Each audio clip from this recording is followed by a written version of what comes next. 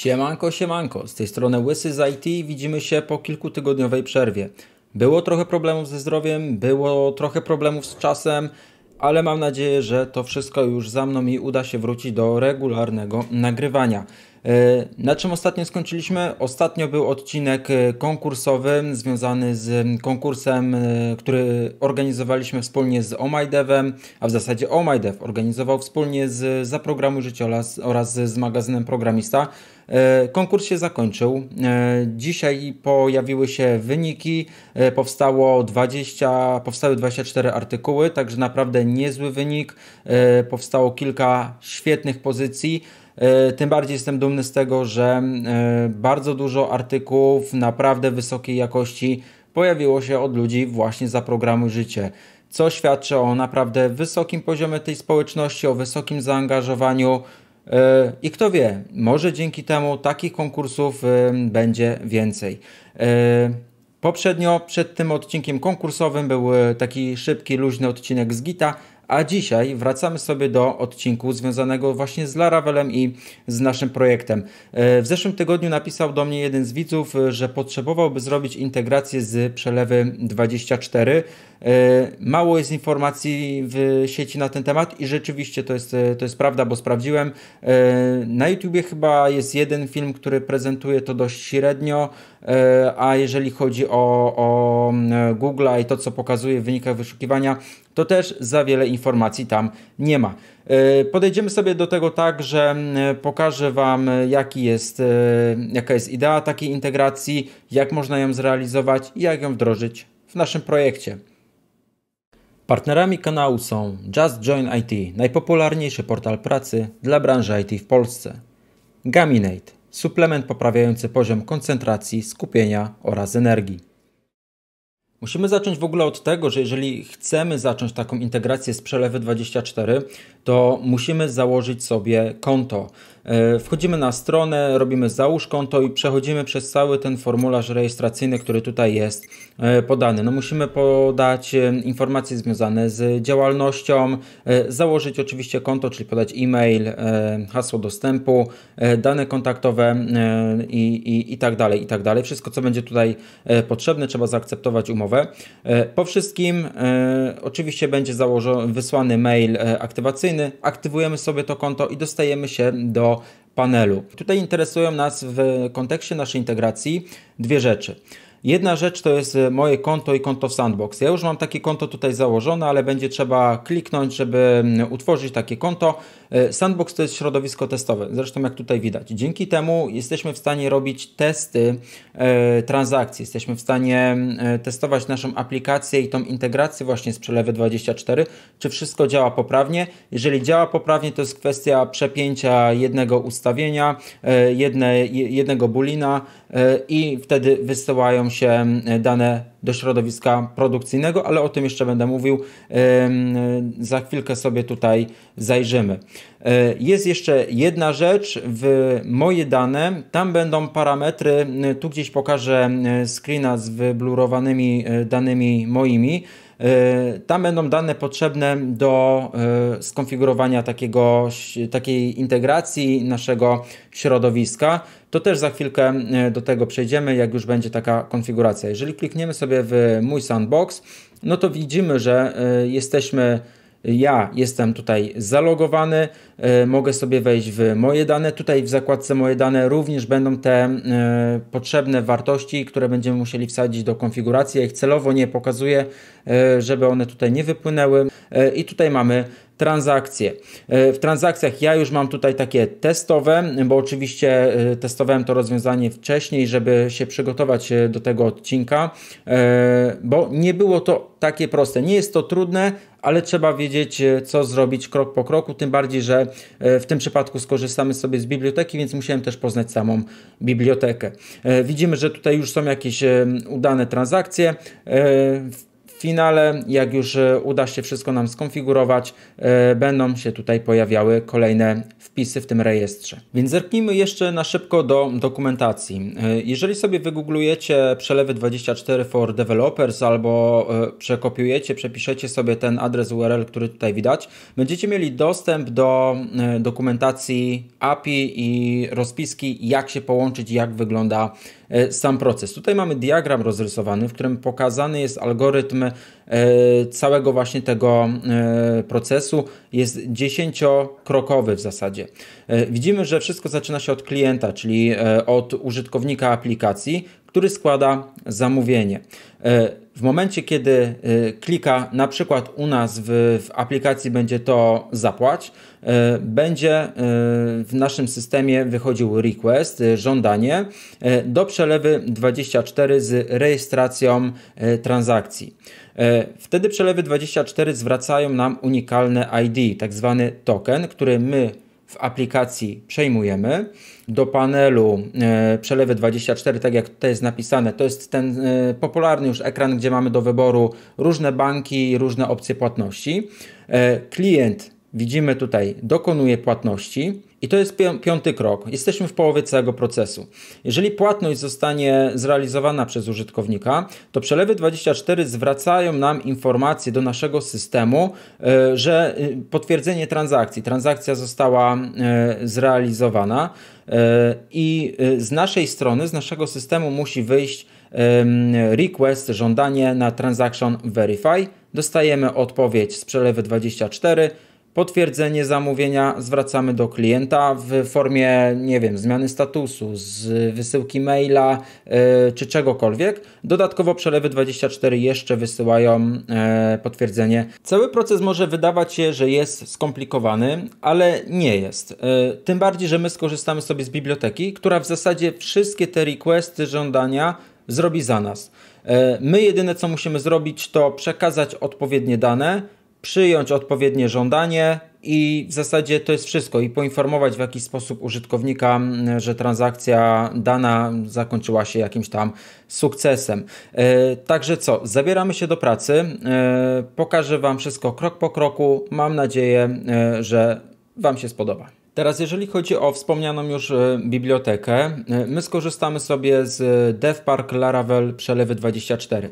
E, jest kilka bibliotek, ta ma najświeższe aktualizacje, ma testy popisane, E, ma fajną dokumentację, przynajmniej dla mnie była przejrzysta, więc e, no dla mnie tutaj nie było żadnego problemu, żeby to zaimplementować. Jest to rozwijane, więc e, można z tego skorzystać. Można też to napisać całą tą integrację z przelewy 24 zgodnie z tym procesem ręcznie, krok po kroku. Wtedy no, trzeba te requesty i, i wymiany danych pomiędzy naszym systemem a przelewy 24 robić ręcznie.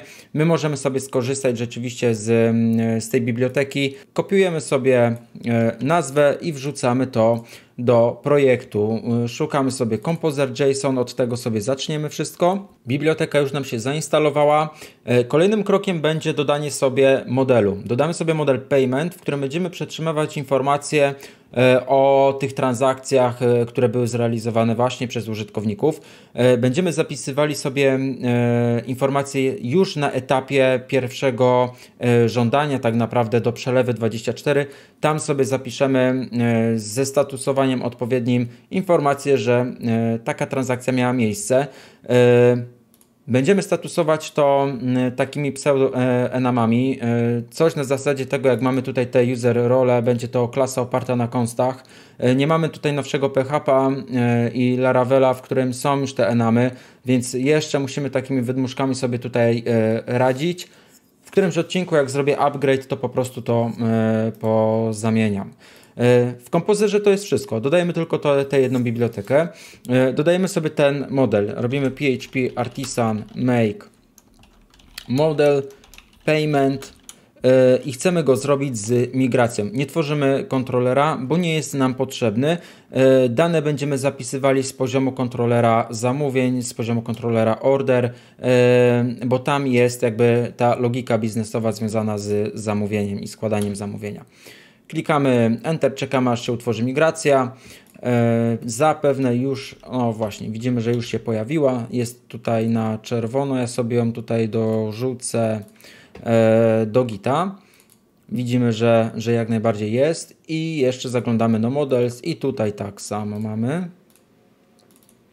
I robimy sobie Payment. E, to, co nas interesuje w, w paymencie, to na pewno integracja i e, integracja, relacja e, z orderem, z zamówieniem. Mamy tutaj price, user ID i quantity. E, price będzie nam potrzebne, e, żeby określić cenę, jaka będzie przy, przy zamówieniu i przy integracji z przelewy 24. Także fajnie, że już tą informację mamy. Nie musimy jej wkładać do payment, bo jak powiążemy relacjami e, te obiekty, te klasy, to, to nie będzie, nie, będzie to zbędne. Więc co, dorzucamy sobie to, co nam się może przydać, e, czyli order ID. E, price nie będzie nam potrzebny, quantity też nie będzie nam potrzebne, ale teraz tak, możemy sobie e, przechować kod błędu i opis, error description. Oprócz tego musimy sobie tutaj mm, dorzucić ten status, o którym już mówiłem. E, zrobimy sobie tam in progress, e, zrobimy success i fail, jako że, że się nie udało, to za chwilę też tutaj dorzucimy. Jest też coś, e, co z dokumentacji, chyba to było w dokumentacji samej paczki, było napisane, że musimy przechowywać session ID. Za chwilkę tutaj też sobie zajrzymy i pokażę Wam Dokładnie. E, musimy mieć session ID zapisane w paymencie. E, z racji tego, że e, w ostatnim kroku będziemy musieli jakoś z bazy wyciągnąć, już Wam pokazuję, na tym etapie, jak weryfikujemy wynik transakcji, musimy wyciągnąć ją jakoś z naszej bazy i sprawdzić, czy rzeczywiście znajduje się u nas, czy, czy są poprawne dane. Jeżeli chodzi jeszcze o samą dokumentację tej biblioteki, no to widzimy, że mamy pokazane, jak ją wrzucić, co jest potrzebne, żeby ją e, uruchomić. Nie musimy tego robić, ponieważ używamy e, wyższego, e, wyższej wersji Laravela. To jeszcze musimy na pewno zrobić, więc jak już tutaj jesteśmy, to sobie to dorzućmy, bo później o tym zapomnę. Tutaj, jeżeli chodzi o, o model, to będziemy mieli prawdopodobnie wszystko. Robimy publish, i teraz w konfigu tutaj powinien nam się pokazać plik z transfer z 24, czyli od przelewy 24. I teraz jak możecie zobaczyć, mamy tutaj e, odwołanie się do enva, do naszego pliku z ustawieniami, z konfiguracją. E, to co mi tutaj brakuje, e, to jest wait for result. To też sobie zrobimy dodatkowo na konfiguracji. Nie wiem dlaczego tego nie, nie zrobili. I tutaj sobie robimy wait for result. E, I co musimy teraz zrobić? Musimy poprzerzucać sobie te pliczki. E, musimy wrócić jeszcze do migracji, ale to za moment. E, poprzerzucać sobie te pliczki, te ustawienia do konfiguracji. Parametry już pouzupełniałem w pliku env, dorzuciłem też to do env example i teraz tak, jeżeli chodzi o to, co ja poustawiałem, te dane, jak już mówiłem, są z panelu przelewy 24. W tym momencie tutaj w URL return decydujemy, gdzie ma być przekierowany użytkownik po zrealizowaniu transakcji, a na ten endpoint, który trzeba dorzucić, będzie uderzało przelewy 24, żeby poinformować o statusie płatności. Tu ustawiamy, czy korzystamy z serwera testowego, a tutaj wait for result to jest taki tryb, w którym e, zatrzymamy użytkownika w momencie, kiedy dokona płatności, e, zatrzymamy użytkownika na ekranie z przelewy 24 z takim kręcącym się kółkiem. Dopóki nie potwierdzą transakcji, to użytkownik tam zostanie. Jeżeli ustawimy tutaj false, to automatycznie będzie przerzucony na ten adres. I teraz tak, po kolei. E, musimy sobie te transfery 24 sobie dorzucę tylko do Gita. Te konfiguracje. Tutaj nic więcej nie powinienem zmieniać. E, w orderze musimy sobie dołożyć e, relację zwrotną do payment. Tu sobie tworzymy payment, ale z racji tego, że tutaj nie mamy ID paymentu, to robimy has1. I tutaj również robimy has1. Jeżeli chodzi, ok, tu jeszcze payment. Jeżeli chodzi o order, to mamy wszystko.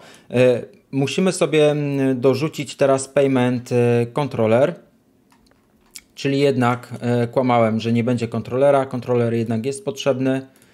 Dorzucimy sobie, może to być, na przykład z tego weźmiemy i pousuwamy to, co zbędne. Payment controller. I tutaj musimy sobie zrobić status. Hmm, tutaj musimy to nazwać. Tu robimy sobie status. E, update status of payment. Of the payment. Na razie to zostawimy puste. Podejrzewam, że tutaj będzie void, to nie będzie e, zwracało nic z racji tego, że ta funkcja, ten endpoint będzie wywoła, wywoływany asynchronicznie, czyli bez żadnej działalności użytkownika, po prostu przelewy 24, kiedy przetworzą swoje e, dane po swojej stronie, wysyłają do nas e, request. Jeżeli mamy payment controller, to musimy to uzupełnić też w routingu, e, żebyśmy mogli się do tego dobić. E, roots, web, I teraz tak, e, routing e, to jest w dokumentacji, to już nie będę tam szukał i Wam pokazywał, musicie mi uwierzyć na słowo. Ten endpoint nasłuchuje nad postem i teraz tutaj robimy sobie payment status, bo tak ustawiliśmy w konfiguracji. Jeżeli miałoby być coś innego, to musimy to odpowiednio uwzględnić. Tu robimy sobie payment controller. Tutaj się niepotrzebnie dodało. Teraz sobie importuję e, klasę i tu robimy sobie status. I co jest też ważne, e, musimy to zrobić poza middlewarem weryfikującym e, uwierzytelnianie. Możliwe, że trzeba by się skontaktować z Przelewy24 e, i porozmawiać z nimi, czy jest opcja na to, żeby wrzucić jakąś opcję uwierzytelniania, żeby jeszcze dodatkowo zwiększyć ten ten zakres bezpieczeństwa, może jakimś tokenem JWT albo, e, albo w jakiś inny sposób. Nie weryfikowałem tego, także tutaj jeżeli coś znajdziecie ciekawego e, w tym zakresie albo może wiecie, zostawcie komentarz pod filmem, chętnie sam też się dowiem. I teraz tak, tu w zasadzie wszystko. Mamy dodane to, co trzeba. Do tego sobie jeszcze wrócimy, więc na razie sobie to mogę zamknąć. Payment mamy gotowe, więc możemy też zamknąć. Prawie. Nie mamy tutaj e, migracji, więc musimy sobie podokładać pola. I teraz tak, to co mamy w order ID, e, inaczej, to co mamy w session ID, to jest e, wartość stringowa. I ona w dokumentacji też to znajdziecie, jest na, powinna mieć 100, długość 100 znaków. Error description to jest tak naprawdę komunikaty, które, komunikaty błędów, które mogą do nas wrócić, więc tutaj możemy sobie dać 2000 znaków. Error code to będzie kod HTTP e, trzyznakowy, e, więc e, myślę, że tutaj 3 możemy spokojnie zostawić, albo nawet możemy z tego zrobić przecież integera. Nie ma potrzeby tutaj się wybawić stringi. Jeżeli chodzi o status, no to będzie, będzie enum, więc sobie robimy teraz status i tutaj podajemy y, parametry i zrobimy sobie zrobimy sobie to po bożemu i tutaj nazwiemy to payment status. Jak y, kojarzycie z innych y, odcinków, tam gdzie robiłem user role, to jest fajny sposób na to, żeby nie wypisywać sobie tutaj tych statusów po kolei, tylko można je tutaj wprowadzić i potem zrobić e, types i zwrócić sobie wszystkie e, te wartości. Zrobimy in progress.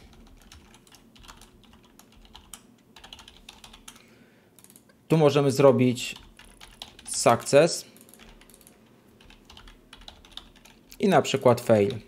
Jako, że nieudany. Mógłby być error, ale to w zasadzie jak Wam pasuje, tak, tak możecie to robić. Eee, robimy sobie user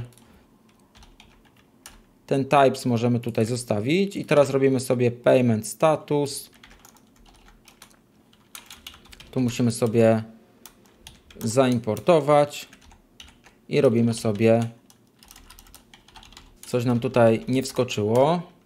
Teraz powinno być dobrze. Dobra. E, I zrobimy sobie wartość defaultową. E, niech będzie na przykład payment status in progress. Co jest ważne, też tutaj musimy sobie zrobić pola null label, bo w momencie, kiedy błędów po prostu nie będzie, to te wartości będą puste. Status powinien być zawsze, zresztą mamy defaulta, mamy timestampy. Timestampy będą, te me metakolumny będą nam mówiły o tym, e, kiedy zostało to utworzone, kiedy zostało zaktualizowane, więc warto, warto e, to zachować. I musimy sobie jeszcze dorzucić relację do e, order ID. I tworzymy sobie table foreign ID, tu dodajemy sobie order ID i constraint. Ok, mamy migrację zrobioną. Możemy ją nawet sobie teraz y, wykonać. PHP Artisan Migrate. Ok, y, wykonała nam się migracja, możemy to teraz zamknąć. Payment możemy y, zamknąć. Env example też zamykam i payment status również. Teraz nas to, to co nas interesuje, to jest order controller. I teraz osoby, które mm, zwracają uwagę na czysty kod, to zaznaczam, że zrobimy sobie te integracje, ten kod wpiszemy do kontrolera. E, cały czas pamiętam o tym, żeby zrobić e, refaktoryzację projektu. Mam nadzieję, że już naprawdę e, w kolejnym odcinku z Laravela mi się to uda. To, co musimy teraz tutaj zrobić, to zaglądamy sobie najlepiej do dokumentacji e, biblioteki. Zauważcie, że te rzeczy poustawialiśmy. Tutaj macie jeszcze dodatkowo opisane, co jest od czego, więc spokojnie powinniście sobie poradzić i, i dać radę. Pierwsze mamy registration request i to jest ten etap, już jedziemy do samej góry. To jest ten etap e, pierwszego żądania, czyli to rejestracja transakcji, transaction e, register. E, I musimy wykonać w zasadzie ten kod. Możemy go sobie przekleić. My zrobimy go ciutkę inaczej. I teraz tak. Zrobimy sobie private function będzie to brzydko wyglądało, ale na ten moment e, payment transaction na ten moment tak to sobie e, zostawimy. I teraz tak, mamy tutaj obiekt payment, on już się u nas e, znajduje. Nie musimy go robić tutaj przez appmake i wstrzykiwać. E, wystarczy, że zrobimy sobie ze spokojem payment, new payment i robimy sobie import klasy. Tylko jeszcze mu, o właśnie, dokładnie tak. E, w tym przypadku e, jest troszkę e, gorzej, ale możemy sobie wstrzyknąć. Moglibyśmy zostawić to w takiej formie przez appmake. Albo możemy na przykład zainjektować to sobie przez konstruktor tego kontrolera. Tworzymy sobie private i tu robimy transfer 24. E, I teraz tutaj robimy sobie konstruktor. E, wykonałem to przez Alt Insert, pojawił mi się ten ekran. E, czasami zwracacie mi uwagę, żeby mówił co klikam. Alt Insert i tutaj był konstruktor. Transfer 24 i mam tutaj konstruktor przygotowany. Ten para mogę tutaj to usunąć. I teraz tutaj możemy to sobie spokojnie usunąć, bo ten kod, który tu mamy, zastąpiliśmy tym strzyknięciem z poziomu konstruktora. E, możemy to, tak jak mówiłem, tu usunąć. A teraz tutaj sobie robimy przez dys transfer z 24 i robimy set email, set amount. Możemy to sobie nawet e, złamać w tym miejscu, żeby było troszkę czyściej. Robimy this transfer 24 i to przypisujemy sobie do, e, do zmiennej. W tym momencie tutaj dostaniemy response, czyli wykonuje, wykonuje nam się to żądanie w tym miejscu i dostajemy response z tokenem z ID, który umożliwi nam przekierowanie do panelu z e, wyborem banku. E, czyli tutaj mamy wszystkie informacje, które nam są potrzebne. Sprawdzamy, czy response zakończył, czy, czy jest sukcesem. On jest statusowany dodatkowo. I tutaj za chwilkę sobie wykonamy akcję. Oprócz tego, że payment jest nowym obiektem, musimy sobie dorzucić do order ID chociażby I tu już wiemy, że musimy sobie przekazać order, order i robimy order ID. E, a oprócz tego, e, chociaż nie, tu będzie wszystko. I teraz tutaj w set email musimy sobie zrobić auth e, user i robimy sobie e-mail. A w amount podajemy order price. I wszystko. Z takich podstawowych danych nic więcej nam tutaj akurat nie jest potrzeba w naszym przykładzie. Tutaj mamy init. Musimy sobie teraz to oczywiście wywołać i tutaj jeszcze mamy e, dokładnie try-catcha e, do zrobienia. Tu sobie to złapiemy w taki sposób. Mm, teraz payment transaction tą sesję sobie zrobimy, jeżeli wy, wyczyścimy, jeżeli będzie sukces. E, I teraz robimy sobie return dollar this payment transaction i przekazujemy sobie order. Czyli wywołujemy po prostu funkcję, to na razie mogę zakomentować. Wywołujemy sobie te funkcje z orderem, który jest tutaj już utworzony, więc będę miał do niego dostęp do, do jego e, ID. E, I teraz tutaj mam do niego dostęp, mam ID, wypełniam w transferze e-mail, wypełniam sobie price. No i teraz tak, jeżeli mamy success, to musimy uzupełnić obiekt payment o informacje, które będą nam przydatne e, w naszym systemie. Oczywiście to jest tylko przykład, to wszystko powinno być dostosowane do potrzeb konkretnego systemu e, i konkretnego przypadku. U nas wystarczy, że wrzucimy sobie status, i tu mamy payment status in progress. Co prawda ustawiliśmy tam default, nie trzeba by tego robić, ale żeby się łatwiej kod czytało, e, to możemy zostawić. E, dodatkowo w odpowiedzi w tym obiekcie e, jest coś takiego jak session ID. To jest informacja, która będzie właśnie nam potrzebna do tego, żeby wyciągnąć później ten payment. To jest w zasadzie ID tego paymentu. Więc to będzie taka informacja, która będzie dla nas bardzo potrzebna i tu robimy get session ID. No i oczywiście zapisujemy obiekt, bo nic tam praktycznie więcej nie mamy. E, mamy kolumny związane z błędami, ale je sobie za chwilkę uzupełnimy.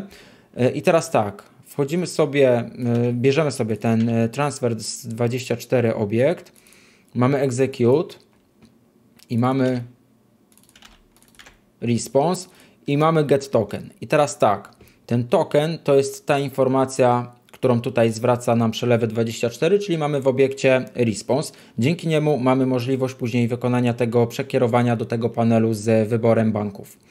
E, to nie jest też tak, że ja to wszystko tak z głowy biorę, bo to jest też napisane w tej dokumentacji.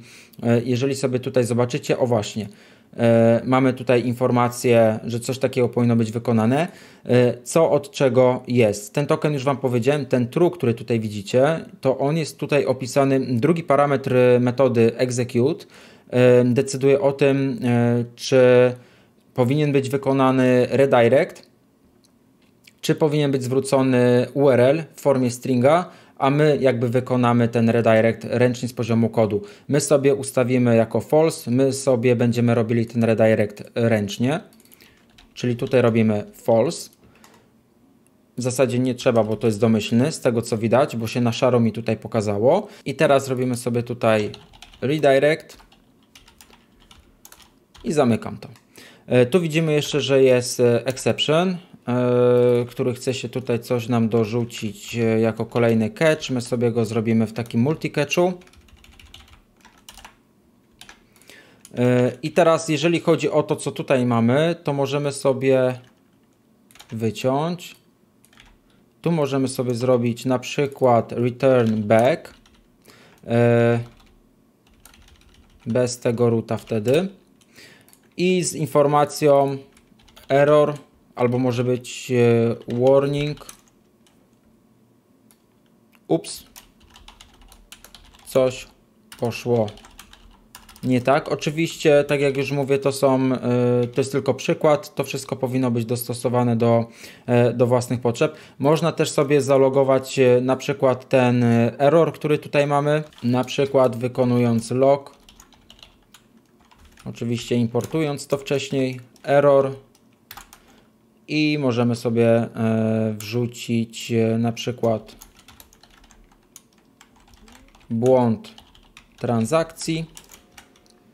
I tutaj sobie robimy e, error na przykład i wywołujemy e. Error. Wtedy tutaj powinien nam się pokazać log w storage, już Wam pokazuję logs w Laravel logu tutaj powinniśmy mieć informację o tym, że coś się nie udało. E, I teraz tak, to jest taka happy path, ścieżka, kiedy wszystko nam się udaje, a co w przypadku, kiedy nam się coś nie uda? E, robimy sobie również payment status, tylko robimy fail.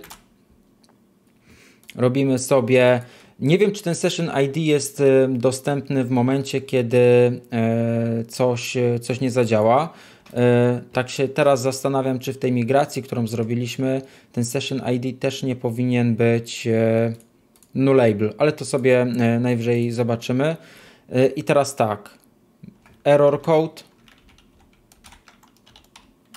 error code, robimy get error code i tu mamy error description, get error description. E, żeby jeszcze było e, lepiej, bo tutaj widziałem, że może być array, to możemy zrobić JSON encode i wtedy wrzuci nam w formie e, JSONa do, do, do bazy danych. Robimy save i musimy zrobić jeszcze return, to samo co tutaj na przykład. I teraz tak, wydaje mi się, że jeżeli chodzi o sam proces integracji, to byśmy mieli w tym momencie tutaj wszystko. Tak się jeszcze zastanawiam, ale nie, chyba jest wszystko ok. E, I teraz tak, musimy sobie dorzucić i obsłużyć jeszcze w Payment Controllerze e, ten endpoint, kiedy przelewy 24 uderzają do nas. Robimy teraz e, kopię tego kodu, wrzucamy. Bardzo podobnie tutaj teraz robimy z tym injectem. Kwestię injektowania omówię w odcinku osobnym. Już nie chcę teraz się w to zagłębiać. E, możecie zostawić z tym upmake'iem, powinno Wam zadziałać, e, ale w ten sposób przez konstruktor również powinno być ok. Więc teraz tak, e, to nam jest niepotrzebne. Robimy sobie this transfers 24 i tutaj robimy response. Request, właśnie, request musimy też tutaj dać, bo jest potrzebne. Musimy przekazać to, co przyszło nam z przelewy 24. E, I teraz jeszcze tak patrzę. To przerzucimy sobie tutaj. Zrobimy troszeczkę inaczej niż tutaj oni proponują. Session ID, response, get session ID. Dlatego zapisywaliśmy sobie ten session ID do bazy, ponieważ w tym response, który otrzymaliśmy z tego żądania, mamy session ID, dzięki któremu możemy wyciągnąć to z bazy, ten payment i zaktualizować go. First of fail może być jak najbardziej. I teraz tak, jeżeli response is success,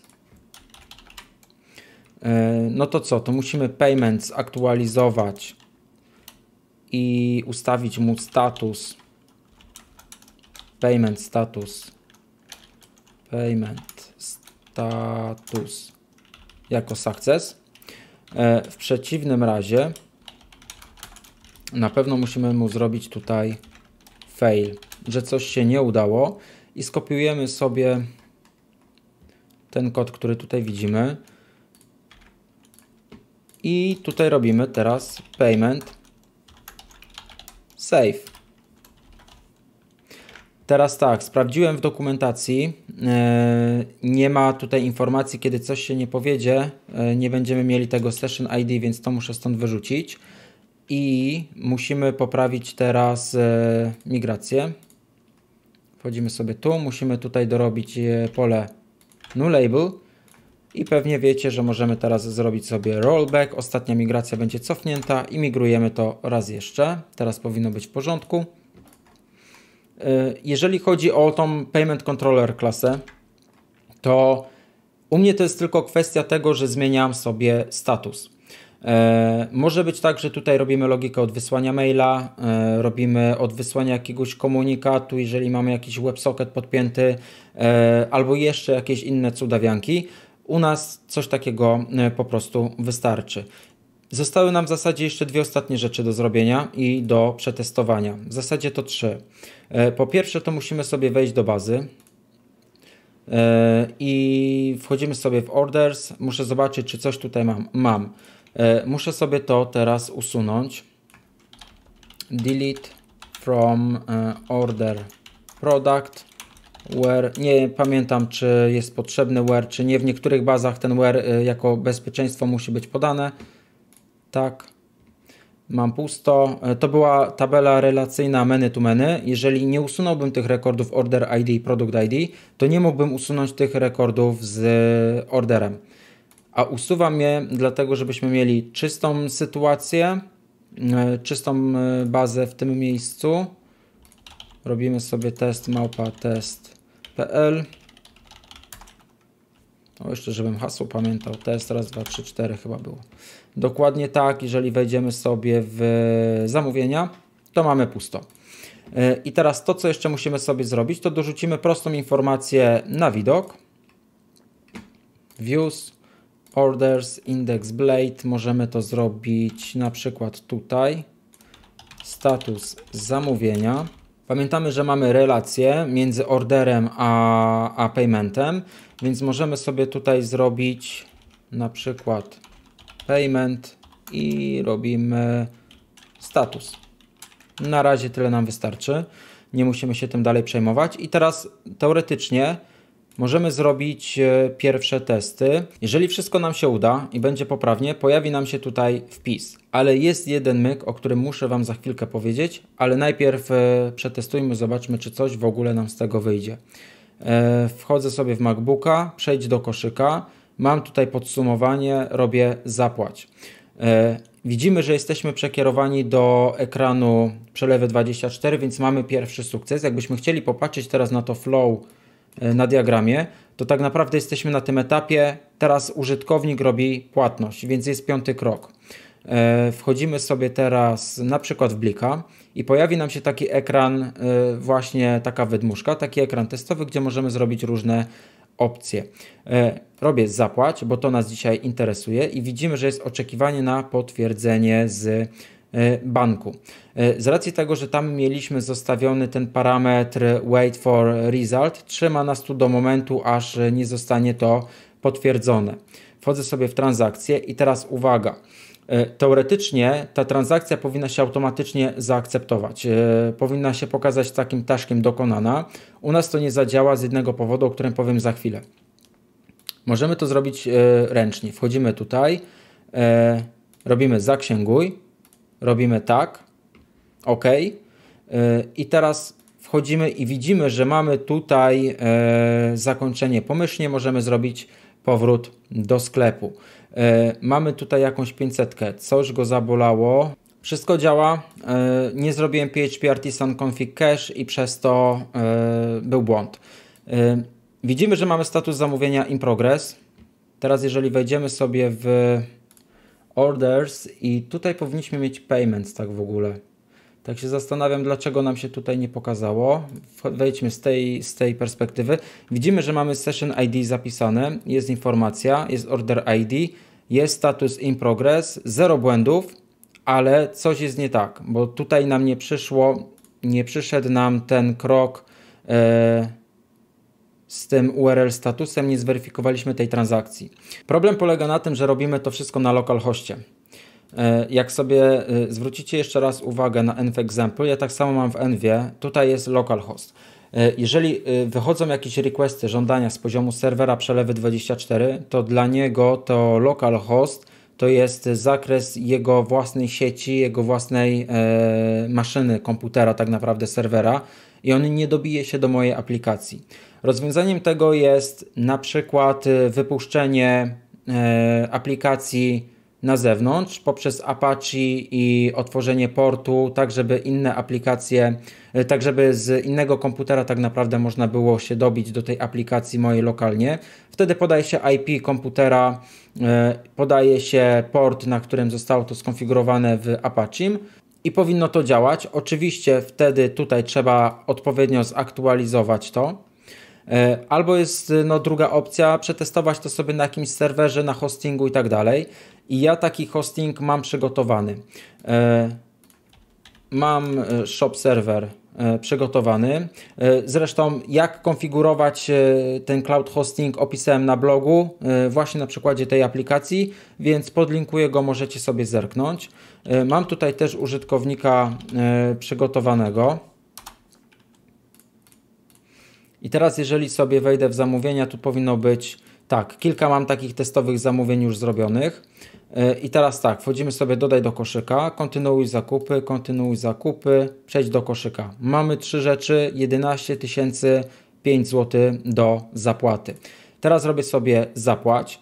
Aplikacja jest w zasadzie 1 do 1. E, w tym na hostingu mam tylko translację dorzuconą do statusu, e, ale tak to jest dokładnie ta sama implementacja.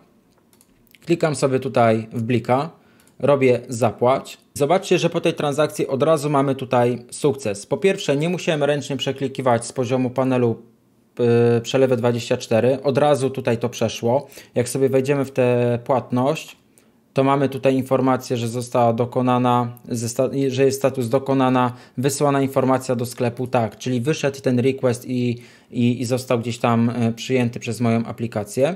Nie mam tej opcji zaksięguj z przeklikaniem ręcznym. Wszystko się zrobiło z automatu e, i tak naprawdę no, wykonał się ten transaction verify, który mamy tutaj. To, co tam mamy transaction verify, to jest ten receive.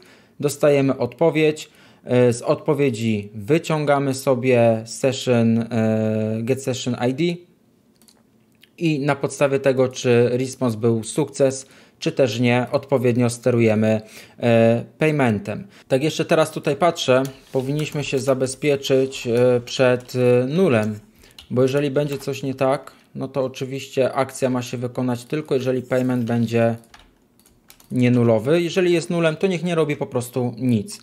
E, I co? I tak wygląda cały proces e, integracji. Możemy sobie wykonać e, jeszcze jeden taki test.